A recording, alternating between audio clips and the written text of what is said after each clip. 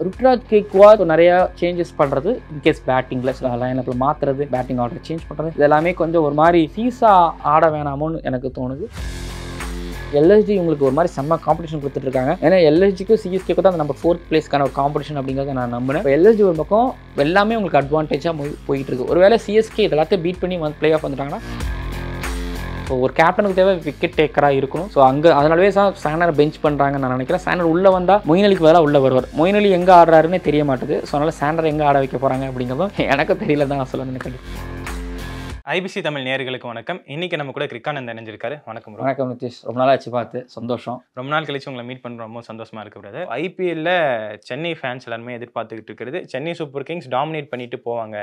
ஸ்டார்டிங்கில் டீமை பார்க்குறப்ப கண்டிப்பாக ஹோம் மேட்சஸ் விளையாடுறப்ப கண் டாமினேட் பண்ணிடுவாங்க.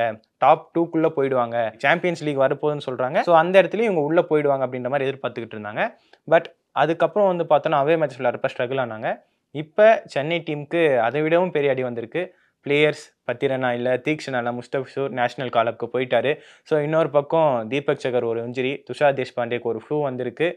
ஸோ சென்னைக்கு பிளே ஆஃப்க்கான பாசிபிலிட்டிஸ் அடுத்து அவங்க விளையாட போகிற மேட்சஸ் எப்படி இருக்க போகுது? ஒரு டீம் வெளியில் போகிறாங்க அப்படின்னா வெளியே போக ஆரம்பிக்கிறாங்கன்னா இந்த மாதிரியான சில சிம்டம்ஸ் தெரியும். பிளேயர்களுக்கு இன்ஜுரி ஆகிறது ஃபாரின் காலப் பட் இன்கேஸ் ஆனால் பிளே ஆஃப் வந்துட்டாங்கன்னா அது இவங்களுக்கு இவங்களுக்கு அமோகமாக அமையும். ஏன்னா நிறைய நிறையக்கு இங்கிலாந்து பிளேயர்ஸ் எல்லாம் வந்து கூப்பிட ஆரம்பிச்சிருவாங்க கூப்பிட ஆரம்பிச்சிட்டாங்க கூப்பிட்டுருவாங்க. பிளே ஆஃப் போயிடுவாங்க நிறைய டீம் நியூசிலாந்து பிரச்சனை கிடையாது சவுத் ஆஃப்ரிக்கா பிரச்சனை கிடையாது. ஆஸ்திரேலியா பிரச்சனை பண்ண மாட்டாங்கன்னு நினைக்கிறேன். ஆஸ்திரேலியா கூப்பிட்டாங்கன்னா சில டீம் அவ்வளோதான் பேட் கமெண்ட்ஸ்லாம் கிளம்புறதுக்கான வ- வழியே கிடையாது. கிளம்பி தான் ஆகணும். நேஷனல் டீம் கூப்பிட்டாங்கன்னா போய் ஆகணும்.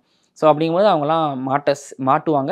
சிஎஸ்கே பொறுத்த வரைக்கும் இன்ஜூரிஸ் பிரச்சனை ஆப்வியஸ்லி அது த நம்ம கையில் ஒன்றுமே கிடையாது அப்படிங்களா? சில விஷயம் தான் நம்மளால் கண்ட்ரோல் பண்ண முடியும். சில விஷயம் கண்ட்ரோல் பண்ணவே முடியாது. இன்ஜூரிஸ் விஷயம் நம்ம கண்ட்ரோல் பண்ணலாம் பட் ஆனால் அதை நம்ம கையை மீறி போகும்பொழுது அது ஒன்றும் பண்ண முடியாது. ப்ளே ஆஃப் சான்சஸ் அப்படிங்கிறது இருக்குது.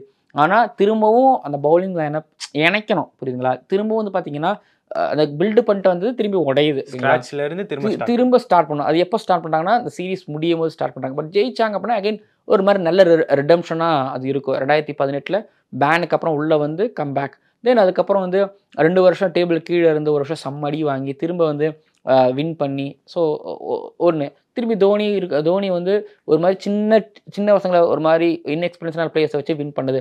ஸோ ஒன்று அந்த மாதிரி ஒரு ஒரு ஒரு என்ன சொல்கிறது ஒரு ரிடம்ஷன் ஸ்டோரியாக ஆகலாம் ருட்ராஜ் கேக்வாத் பொறுத்த வரைக்கும். பட் நம்ம இதுக்கு முன்னாடி வந்து கண்டிப்பாக சிஎஸ்கே ஏன்னு சொன்னது என்னென்னா தோனி கேப்டனாக இருந்தார். தென் அதுக்கப்புறம் வந்து பார்த்தீங்க அப்படின்னா இது சே சேப்பாக் ஓகேங்களா? ஸோ தோனினோ சேப்பாக் ஸோ சேப்பாக் இருக்கிற சேப்பாக்கில் ஐபிஎல் நடக்கிற வரைக்கும் சிஎஸ்கே ஹோம் கிரவுண்டாக இருக்கிற வரைக்கும் சிஎஸ்கே கண்டிப்பாக பிளே ஆஃபுக்கு போயிடுவாங்க அப்படிங்கிறது பட் இப்போது தோனி கேப்டனாக இல்லை. எல்லாம் சொல்லலாம். ஜெயிக்கும் போது தோனி தோக்கும் போது ருட்டு இல்லை. இல்லை ஜெயிக்கும் போது நிறைய ருட்டுராஜ் கேக்வாத்தையும் நாங்கள் நம்ம மேலே டாப்பில் தூக்கி தூக்கி வச்சு பேசிடுறோம். ஆனால் விஷயம் என்னென்னா ருட்ராஜ் கேக்வாத் ஸோ நிறையா சேஞ்சஸ் பண்ணுறது இன்கேஸ் பேட்டிங்கில் சில லைன் லைனப்பில் மாற்றுறது பேட்டிங் ஆர்டர் சேஞ்ச் பண்ணுறது இதெல்லாமே கொஞ்சம் ஒரு மாதிரி என்ன சொல்கிறது அந்த அந்த சீசா ஆட வேணாமோன்னு எனக்கு தோணுது. ஸோ இன்ஜுரி பிரச்சனை இருக்குது சில பிளேயர்ஸ் வெளியிலவும் போகிறாங்க மேலே பேட்டிங் ஆர்டரும் இன்னும். ஃப்ளம்மிங்கே சொல்லிட்டார் எங்களுக்கு இன்னும் பேட்டிங் லைனப் சரியாக அமையல? அப்படிங்கிற மாதிரி அவர் சொல்கிறாரு இது இது இது சிஎஸ்கேவோட டீமில் நான் இது வரைக்கும் பார்த்ததே கிடையாது. வாட்சன் ரெண்டாயிரத்தி பது அந்த ரெண்டாயிரத்தி பத்தொம்போது ஐபிஎல்ல இருந்தார் கடைசி வரைக்கும் இருந்தார். ஏன்னா அந்த டீமில் அவர் மட்டும் தான் ஃபார்ம் அவுட்டில் இருந்தார். இருக்கக்கூடிய எல்லா பேட்டர்களும் ஃபார்மில் இருந்தாங்க அப்படிங்கும்போது அவர் இருந்தார். பட் இப்போ அப்படி கிடையாது. ரச்சின் ரவீந்திரா ஃபார்ம் அவுட்டில் இருக்கிறாரு.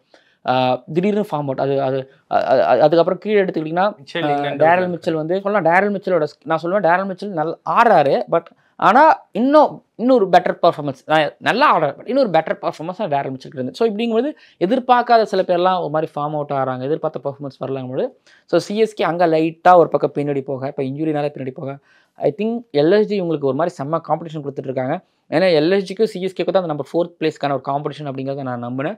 இப்போ எல்எஸ்ஜி ஒரு பக்கம் எல்லாமே உங்களுக்கு அட்வான்டேஜாக போய் போயிட்டு இருக்கு. ஒருவேளை சிஎஸ்கே இது எல்லாத்தையும் பீட் பண்ணி வந்து பிளே ஆஃப் வந்துட்டாங்கன்னா ஸோ ஆப்வியஸ்லி எப்பா இங்கே பாருங்கள் நம்மளுக்கு ஒவ்வொரு மேட்சும் ஒரு டூ ஆர் டை மேட்ச்சு ஜெயிச்சிருங்க ஜெயிச்சிருங்க ஜெயிச்சாங்கன்னா மேபி ட்ரோஃபி லிஃப்ட் பண்ணலாம். ஒரு ரெடம்ஷன் ஸ்டோரியாக கூட இருக்கலாம். பட் வாய்ப்புங்கிறது ரொம்ப கம்மியாக இருக்குது பட் அந்த ஒரு சின்ன ஒரு சான்ஸை பிடிச்சிட்டு வந்தாங்கன்னா எப்படி பார்ப்போம். சிஎஸ்கே டீம் வந்து இப்படி ஸ்ட்ரகிள் ஆகிறதுக்கு பேட்டிங் காம்பினேஷன் பற்றியும் நாங்கள் பார்த்துட்டோம். அவங்களோட பவுலிங் காம்பினேஷன் பற்றியும் பார்த்துட்டோம். பவுலர்ஸாக உள்ளே வந்தவங்கள வந்து பார்த்தோன்னா நமக்கு ஷர்துல் தாக்கரா இருக்கட்டும். தேஷ்பாண்டியா நல்லா பண்ணார். பத்திரினா சில மேட்சஸ் நல்லா பண்ணார். முஸ் முஸ்டாபிசூர் நல்லா பண்ணார். சிஎஸ்கே அப்படின்னு சொன்னால் ஸ்பின்னர்ஸ் அவங்க கிட்ட போனால் அவங்க சொலட்டி எடுத்துருவாங்க அப்படின்னு சொல்லி சொல்லக்கூடிய ஒரு டீமாக தான் நம்ம இருந்திருக்கோம். சேப்பாக்கை பொறுத்த வரைக்கும். இந்த இயர் நமக்கு அது வந்து அந்த மேஜிக் ஒர்க் பண்ணல. அது ருத்துராஜோட கேப்டன்சி ஸ்டைல் அப்படின்னு சொல்லிட்டு சிலர் சொல்கிறாங்க அதை தாண்டி கண்டிஷனும் நமக்கு சப்போர்ட் பண்ணாமல் இருக்கக்கூடிய ஒரு விஷயம் இருக்குது அதை பற்றி வந்து பெருசாக யாரும் பேசலை. கண்டிஷன் எந்த மாதிரி மாறி இருக்கு ஏன் ஸ்பின்னர்ஸால் சக்ஸஸ்ஃபுல்லாக இருக்க முடியல அதுலேயும் கம் சிஎஸ்கே ஸ்பின்னர்ஸால் ஏன் நல்லா பண்ண முடியல. இப்போ லாஸ்ட் மேட்ச் வந்து பஞ்சாப் கூட ராகுல் சேகர் அவர் என்னப்பா கடைசியில் வந்து தோனி போட்டு கண்ட்ரோல் பண்ணுறாரு அப்படின்னு சொல்லிட்டு பேசுகிறாங்க பட் அப்படி பேசக்கூடியவங்க செகண்ட் இன்னிங்ஸில் சிஎஸ்கே ஸ்பின்னர்ஸ் போடுறப்ப அங்கேருந்து அந்த கண்டிஷன்ஸை பற்றி அவங்க பேசணும்.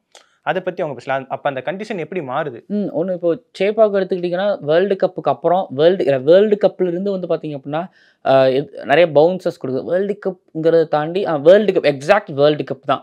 ஏன்னா நான் எக்ஸாம்பிளுக்கு இந்த இதை சொல்லிக்கிட்டே இருப்பேன். Taskin Ahmed thirty fifth thirty fifth over போட்டாலே அங்கே பவுன்ஸுங்கிறது கிடைக்குது. லாக்கி ஃபெர்குசன் நாற்பதாவது ஓவர் போட்டாலே அது பவுன்ஸ் நை செகண்ட் இன்னிங்ஸில் இங்கிருந்து ஒரு பவுன்ஸ் கிடைக்குதுங்கும்போது ஸோ சேப்பா கொஞ்சம் ஒரு மாதிரி ஃபாஸ்ட் பவுலர்ஸும் கொஞ்சம் ஃபேவர் பண்ணுது. ஒரு ட்ரெடிஷ்னல் ஃபாஸ்ட் பாலர் லைக் எப்படி சொல்கிறது அப்போல்லாம் ஒரு மாதிரி அந்த காலத்தில் ஃபாஸ்ட் போலர்ஸ்லாம் எல்லாம் வந்து பார்த்தீங்கன்னா சேப்பாக்களையும் விக்கெட் எடுப்பாங்க. ஸோ அந்த மாதிரி இப்போ கை கொடுக்குதோ அப்படிங்கிறது ஒன்று ஜடேஜாவை எப்படியாச்சும் அவங்க வந்து டி டிஃபென் ஜடேஜா கிட்ட ரொம்ப போகிறதெல்லாம் இல்லை. டிஃபென்ஸ் போகணும் அப்படிங்கிற மாதிரி தான் ஜடேஜா கிட்ட இங்கே அவுட் ஆனவங்கலாம் இவர் வெங்கடேஷர் ஷார்ட்டாக போட்டால் ஃபீல் செட் ஃபீல் செட் பண்ணி விக்கெட் எடுத்தாங்க. இன்னொன்று ரகுவன்ஷி அவர் ரிவர்ஸ் ஸ்வீப் ஆடி அவுட் ஆனார். தென் சுனில் நாராயண் அவர் பாலை மேலே தூக்கி விட்டு தான் அவர் அவர் அவுட் ஆனார்.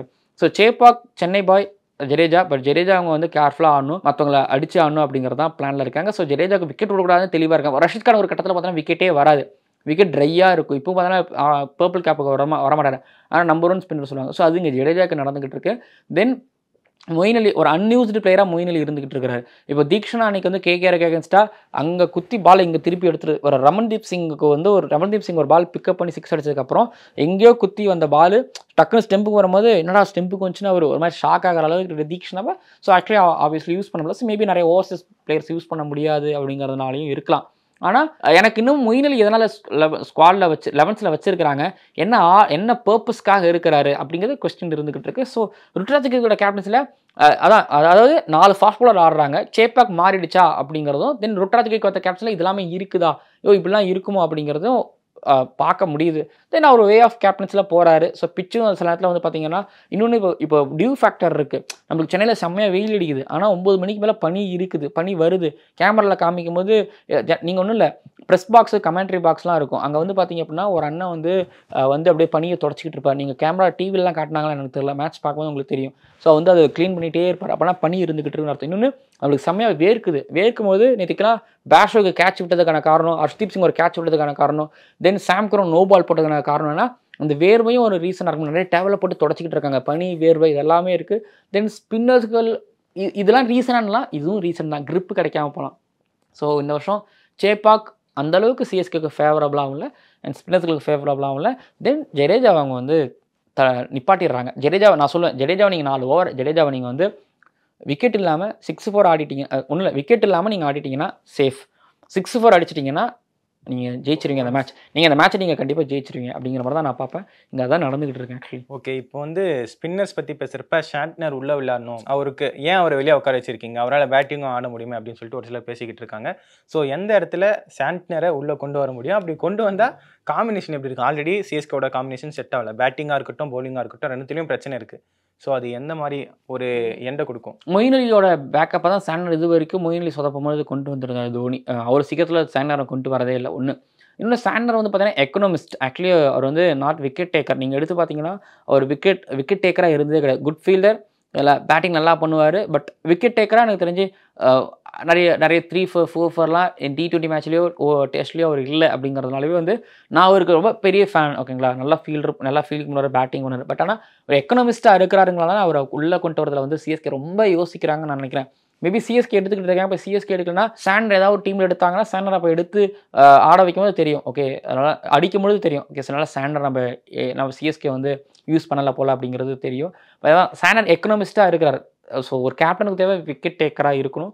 ஸோ அங்கே அதனாலவே தான் சாண்டரை பெஞ்ச் பண்ணுறாங்கன்னு நான் நினைக்கிறேன். சாண்டர் உள்ளே வந்தால் மொயின் அலிக்கு பதிலாக உள்ளே வருவார். ஸோ மொயின் அலி எங்கே ஆடுறாருன்னே தெரிய மாட்டுது. ஸோ அதனால் சாண்டர் எங்கே ஆட வைக்க போகிறாங்க அப்படிங்கிறதும் எனக்கும் தெரியல தான் நான் சொல்ல நினைக்கிறேன். தோனி அவருடைய கடைசி ஐபிஎல்லாக இருக்கும் அப்படின்னு சொல்லிட்டு தான் எல்லாருமே எக்ஸ்பெக்ட் பண்ணிகிட்டு இருக்கோம். அவர் என்ன டிசிஷன் எடுக்க போகிறார் அப்படிங்கிறது நமக்கு தெரியாது. ஸோ அவருடைய ப்ரெசன்ஸை நீங்கள் மேட்சஸ் சென்னையில் போய் சேப்பாக்கில் பார்க்குறீங்க எவ்வளோ என்ஜாய் பண்ணுறாங்க ஃபேன்ஸ் எல்லாரும்?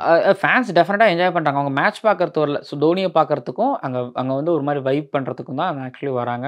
அந்த ஒரு மொமெண்ட்டுக்காக வராங்க ஓகேங்களா டிஜேயோட அந்த சாங் தோனியோட என்ட்ரி ஸோ அதுக்காக தான் அவங்க வராங்க. தென் தோனியை பார்க்குறதுக்கும் வராங்க. தோனி ஒரு சிக்ஸ் அடிச்சா பார்க்குறதுக்கும். ஸோ முழுக்க முழுக்க ஒரு ஒரு ஒரு ஒரு நாற்பது பர்சன்டேஜ் ஆஃப் க்ரௌட் அதுக்கு தான் வராங்கன்னு நான் நினைக்கிறேன். மற்றவங்களுக்காக மற்றவங்களுக்கு எவ்வளோ வராங்கன்னு எனக்கு தெரில வெளியில் பேசும்போது தோனிக்காக தான் வரோம். தோனியை பார்க்கறதுக்காக தான் வரோம்.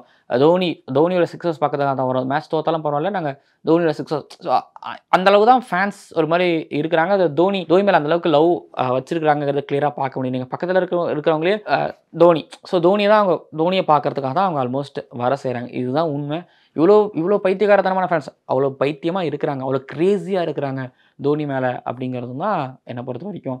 இது இதுக்கு மேலே எல்லாமே எல்லாருமே உங்களுக்கே தெரியும். ஸோ எந்த அளவுக்கு தோனி லவ் பண்ணுறாங்க அப்படிங்கிறது. ஸோ இந்த லாஸ்ட் சீசனாக கூட இருக்கலாம். இல்லை லாங் ஹேர் ஒன்று வைக்கிறாரு. ஸோ ஸோ இதெல்லாம் வச்சு பார்க்கும்போது ஃபேன்ஸுக்கு ஒரு ஒரு அசம்ஷன் ஸோ இது தோனியோட லாஸ்ட் சீசனாக இருக்கும் இருக்க போகுது. எனக்கு அதுதான் தோணுது. மேபி லாஸ்ட் சீசனாக இருக்கும்போது ஏன்னா வைசாக்கில் கரெக்டாக அந்த அவரோட ஃப- அவரோட அவருக்கு திருப்பு முனை கொடுத்த ஒரு பீச் ஸோ வைசாக் ரொம்ப லவ் பண்ணார். வந்தார். வேன்கடே அங்கே சிக்ஸ் அடித்து முடிச்சாலும் வேன்கடையில் வந்து ஆடணுங்கிறது அவசியமே கிடையாது. அதுக்கேற்ற மாதிரி அன்னைக்கு அன்னைக்கு அன்னைக்கு ஒரு ஒரு கிட்டத்தட்ட ஒரு பத்து ரன் ஒம்பது ரன் தான் இருந்தது. சேப்பாக்கில் வந்து பேட் பண்ணுறாரு ஏன்னா இதுக்கு மேலே நம்ம ஃபேன்ஸுகளுக்கு நம்ம ஆடுறதை காமிக்கலன்னா ரொம்ப நல்லா இருக்காது. ஸோ திரும்ப வராரு. ஸோ தெரியுது. ஃபேன்ஸுகளை புல் பண்ணுறதுக்கும் அவர் வராரு. ஸோ அவரும் அதை என்ஜாய் பண்ணி தான் அவர் ஆடிட்டு இருக்கு இவங்க என்ஜாய் பண்ணுறத விட அவரும் அதை ரொம்ப நிறைய என்ஜாய் பண்ணுறாருன்னு நான் நினைக்கிறேன். சென்னையை பொறுத்த வரைக்கும் அவங்களுடைய லாஸ்ட் மேட்சஸ் வந்து பார்த்தோன்னா PBKS and GT RR RCB இந்த நாலு டீம்ஸ் கூட இருக்குது இதில் கண்டிப்பாக மூணு மேட்ச் ஆச்சு அவங்க வின் பண்ணால் தான் அவங்களால அடுத்த லெவலுக்கு அடுத்து பிளே ஆஃப்க்கு வர முடியும். ஸோ இதில் எந்த மேட்சஸ்லாம் அவங்களுக்கு ரொம்ப சேலஞ்சிங்காக இருக்கும்? இதுக்கு நம்ம பிளேயிங் லெவன் பற்றி பேசிட்டோம். எந்தெந்த இடத்துலலாம் அவங்களுக்கு இன்னும் கஷ்டம் இருக்க பவுலர்ஸ் இல்லை அப்படிங்கிறத பார்த்துட்டோம். எந்த டீமோட அவங்க அவங்க வந்து ரொம்ப கஷ்டப்படுவாங்க. ஓகே எல்லாரும் ஈஸியாக நினைக்கிற மேட்ச் மேபி ஆர்சிபி மேட்ச் நினைக்கலாம். பட் எனக்கு அதுவுமே கொஞ்சம் டஃப்பாக இருக்கும். ஏன்னா ஆர்சிபி ரெண்டு மேட்ச் ஜெயிச்சிட்டு வின்னிங் வேஸ்க்கு திரும்ப வந்து அது ஒன்று இன்னொன்று வந்து ஆர்சிபி நினைப்பாங்க. நான் எங்களோட லாயல் ஃபேன்ஸுகளுக்கு நாங்கள் ஒரு விக்ட்ரியோட தான் நாங்கள் எங்கள் ஃபேர்வெல் கொடுக்கணும் அப்படிங்கிற மாதிரி அவங்க அவங்க யோசிப்பாங்க. ஸோ அதனாலேயே வந்து பார்த்திங்க அப்படின்னா இந்த மேட்சை வின் ஏன்னா ஆல்ரெடி ரொம்ப ரொம்ப காயப்பட்டாச்சு. பிளே ரொம்ப ஹர்ட் பண்ணிட்டோம் ஓகேங்களா அப்படின்னு யோசிப்பாங்க ஃபேன்ஸை ஸோ அதனாலவே வந்து பார்த்திங்கன்னா இந்த மேட்சை வந்து சிஎஸ்கேவை பீட் பண்ணோன்னா கண்டிப்பாக சந்தோஷமாக நம்மளோட ஃபேன்ஸ் இருப்பாங்க. ஏன்னா ஃபர்ஸ்ட் மேட்ச் அங்கே தோத்தோம். திரும்ப நம்மளை ஹோமுக்கு கூப்பிட்டு வந்து தோக்க வைக்கணும் அப்படிங்கிறது. ஸோ எல்லாமே ஒரு வழி ஒரு மாதிரி ஈக்கு பழிக்கு பழி தீர்த்த மாதிரி ஆயிரும். ஃபேன்ஸை திருப்திப்படுத்தின மாதிரி ஆயிரும். ஒன்று ஏன் அதுக்கப்புறம் வந்து பார்த்தீங்க அப்படின்னா Punjab Kings match and Dharamshala so okay தோனியோட redemption நாங்கள் ரெண்டாயிரத்தி பத்து அது ஆரம்பிச்சிச்சு. பட் அது பழைய கதை. ஆனால் இப்போ ஒரு மாதிரி பஞ்சாப் கிங்ஸோட காம்பினேஷன் நல்லா இருக்குது எல்லாமே சரியாக பண்ணுறாங்க இதுவும் கண்டிப்பாக டஃப் ஸோ அடுத்தது வந்து இன்னொன்று ஜிடி கூட இருக்குது. ஸோ அது ஒன்று மேபி சிஎஸ்கேக்கு மேபி வந்து பார்த்தீங்கன்னா ஒரு ஸ்லைட்டு ஒரு சான்ஸ் இருக்குன்னு நினைக்கிறேன்.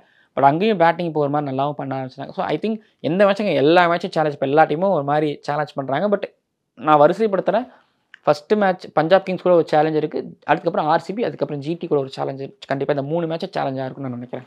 ஆர்ஆர் விட்டுட்டீங்க. ஆர்ஆர் ஆப்வியஸ்லி நான் சொல்ல தேவையில்லை. அவங்க அவங்க அவங்க வந்து இப்போ ஹோமில் இப்போ சிஎஸ்கே ஹோமில் டே மேட்ச் ஆட வராங்க. பெஸ்ட் அதாவது லெவனுங்கிறது பெஸ்ட்டு டுவெல் அவங்க வச்சுருக்கிறாங்க ஓகேங்களா? ஸோ இம்பாக்ட்ஸ் அப்படியே சூப்பராக யூஸ் பண்ணுறாங்க அப்போ ஜாஸ் பட்லருக்கு உடம்பு சரியில்லையா? நீங்கள் இம்பேக்ட் சப்பாக இருந்துக்கோ பேட்டிங் மட்டும் வந்து பண்ணி கொடுத்துருப்பாங்க. ஓகே சந்தீப் சர்மா இன்ஜுரி பர்சனா சரி ஓகே சந்தீப் சர்மா நீங்கள் இம்பாக்ட் சப் ஆடிட்டு நான் எங்களுக்கு லாஸ்ட் மூணு ஓவர் போட்டு நியூ பாலில் ரெண்டு மூணு விக்கெட் எடுத்து கொடுத்துருப்பாங்க. அப்படிங்கும்போது அந்த இம்பாக்ட் சப் அவங்க மாதிரி யூஸ் பண்ணுறதுக்கு வேறு யாரும் கிடையாது. நான் ஆக்சுவலி ஆண்ட்ரே பர்கர் இருக்கார்ல அவர் நான் மிஸ் பண்ணுறேன் ஏன்னா ஆண்ட்ரே பர்கரோட பவுலிங் எனக்கு ரொம்ப பிடிச்சிருச்சு அடிச்சு ஆரம்பத்தில் ஏற்றிக்கிட்டே இருந்தார். அவர் ஆடவே முடியல. எல்லாரும் சில பேர் ஹெல்மெட்டில் அடிவாங்க டெஸ்ட் மேட்ச் மாதிரி அவர் மாதிரி வந்து பவுலிங் போட்டுருந்தார். அவர் மிஸ் பண்ண ரிசோர்ஸை சூப்பராக யூஸ் ஆப்ஷனில் சூப்பராக ப்ளே பண்ணாங்க. ரிசோர்ஸையும் இவங்க சூப்பராக யூஸ் பண்ணிட்டு இருக்காங்க. இம்பாக்ட் சப்பையும் செம்மையாக பயன்படுத்திட்டு போது நான் அவங்கள தான் கொஞ்சம் கொஞ்சம். இல்லை ஒரு மாதிரி பார்க்கலாம். பட் இந்த மூணு மேட்சை நீங்கள் எல்லாருமே இதை எதிர்பார்ப்பீங்க. பட் இந்த மூணு மேட்சோட ரிசல்ட் நான் கொஞ்சம் அதிகமாக எதிர்பார்க்கறேன். ப்ளஸ் மேபி ஹோப்புங்கிறதால மேபி சிஎஸ்கே லைட்டாக ஒரு அட்வான்டேஜ் இருக்கும்னு நினைக்கிறேன். பட் ஆர்ஆர் பீட் பண்ணிட்டாங்கன்னா சிஎஸ்கே ஓகே நாங்கள் ஆர்ஆரை பீட் பண்ணிட்டோம். எங்க அடுத்துங்கிறது சிஎஸ்கே ஒரு பயத்தை காமிக்கலாம். இந்த ஐபிஎல் சிஎஸ்கே பற்றியும் நம்ம நிறைய விஷயங்கள் பேசிட்டோம். எங்க கூட டைம் ஸ்பெண்ட் பண்ணி இந்த விஷயங்களை ஷேர் பண்ணிக்கிறதுக்கு ரொம்ப நன்றி. நன்றி நிதிஷ். ஓகே